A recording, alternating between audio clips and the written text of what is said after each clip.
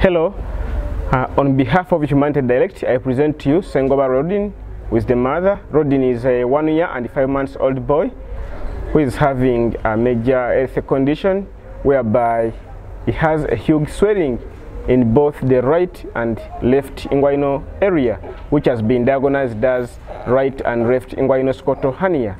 Uh, the mother and the father are both poor peasants who can't pay for his operation.